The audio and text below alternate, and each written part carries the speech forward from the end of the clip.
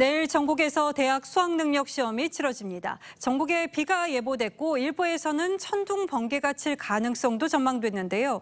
이 천둥으로 듣기 평가에 차질이 생길 경우에는 다시 한번 해당 문항을 들려줄 예정이라고 하니까 안심하고 시험에 임하셔도 되겠습니다. 박재용 기자입니다.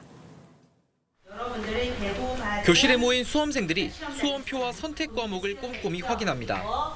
이어 내일 수능을 칠 예비 소집 장소로 나섭니다. 후배들의 피켓 응원에 눈물을 쏟기도 합니다. 얘들아 울지 마. 얘들아 울지 마. 올해는 지난해보다 3,400여 명 줄어든 50만 4,500여 명이 응시하는데 N수생 비율은 32%로 역대 최고를 기록했습니다. 4년 만에 노마스크로 치러지며 확진 수험생도 일반 교실에서 함께 응시합니다.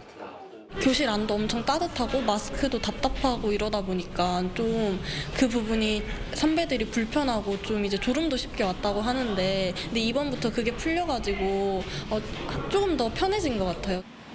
내일은 한파는 없지만 전국적으로 5에서 30mm의 비가 내리겠습니다. 특히 일부 서쪽 지역을 중심으로 천둥 번개가 예보돼 영어 듣기 평가에 차질도 우려됩니다. 교육당국은 수험생 다수가 방송을 듣지 못했을 경우 고사장 책임자인 교장의 판단에 따라 다시 한번 들려줄 방침입니다. 내일 수능일엔 오전 8시 10분까지 고사장에 들어가야 합니다. 수험표와 신분증도 꼭 챙겨야 하는데 이런 모바일 신분증은 사용할 수 없습니다. TV조선 박재훈입니다.